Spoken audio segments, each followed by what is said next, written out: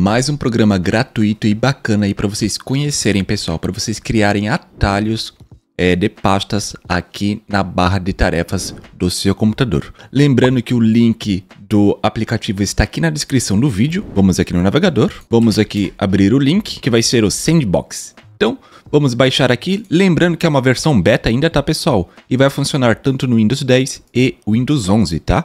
Ok, baixou aqui o programinha, vamos clicar aqui em Downloads e podemos instalar ele. Vamos abrir aqui o .msi, aqui você aperta em Next, aqui vocês podem deixar como está, Next, Next e vai começar a instalação. Aqui você aperta em sim, já mete o dedão aí no gostei, inscreva-se no canal, ative o sininho aí, compartilhem este vídeo que isso ajuda demais no engajamento do vídeo e do canal. Ok, já terminou de instalar aqui, vocês podem marcar essa opção aqui, ó, para iniciar o Doc Folders. Ok? Vamos apertar em Close. Caso der algum problema, ele não funcionar, você tem que instalar o Net Framework. Vou deixar aqui na descrição do vídeo também para vocês instalarem, ok? Então vamos lá, pessoal. Ele vai aparecer aqui, ó. Você clica sobre ele e já vai aparecer aqui os meus documentos, tá? Olha só que bacana. Se eu apertar aqui em meus documentos, vai mostrar todas as suas pastinhas aqui, ó, pessoal. Parece uma raiz, né?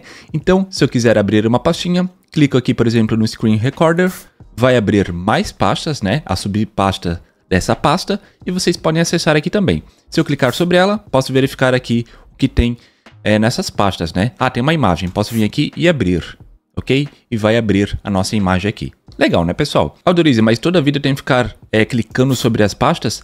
Não, pessoal, tem uma configuração aqui que vocês podem colocar esse modo aqui automático. E se caso para você não aparecer o dock aqui, é, na barra de tarefas, é porque ele está aqui nos ícones ocultos, tá? Então você aperta aqui nos ícones ocultos, segura sobre ele e arrasta aqui na barra de tarefas, para você fixar ele aqui, tá pessoal? Então você volta aqui no programinha, clica com o botão direito do mouse sobre ele, vamos aqui em configurações e antes de mostrar essa parte aqui para vocês, vamos aqui em opções e aqui vocês podem ativar algumas funções, tá pessoal? Vem essas aqui ativadas por padrão, tá? O primeiro aqui iniciar junto com Windows, o segundo aqui é para você é ativar o atalho, tá?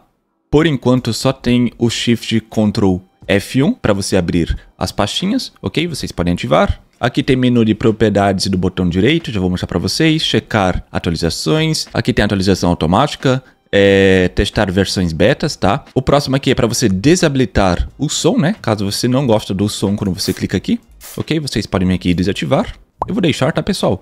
Autonavegação, né? Que vai ser a navegação automática. Você vem aqui, ativa. É, aqui mostrar os meus favoritos. Tem aqui habilitar é arrastar e soltar, caso você queira, vocês podem vir aqui ativar. Aqui ocultar arquivos de configurações, ocultar pastas do sistema, caso você queira. E aqui tem dicas de ferramenta fez a sua configuração, aperte em salvar. Quando habilitar aqui, ou apertar o Ctrl Shift F1 para abrir a nossa pastinha, conforme eu vou passando o mouse aqui, ó, e vai abrindo automaticamente, tá? Muito legal, né? É só você passar o mouse que vai abrindo as pastas automaticamente. Muito legal, né, pessoal? Clicando com o botão direito do mouse, vamos aqui em configurações. Aqui vocês podem adicionar as suas pastas favoritas, tá? Por padrão vem a documentos. Caso você não queira, você aperta aqui no menos para excluir. Vamos apertar aqui no mais e aqui você vai adicionar qualquer tipo de pasta. Vamos adicionar, por exemplo, downloads.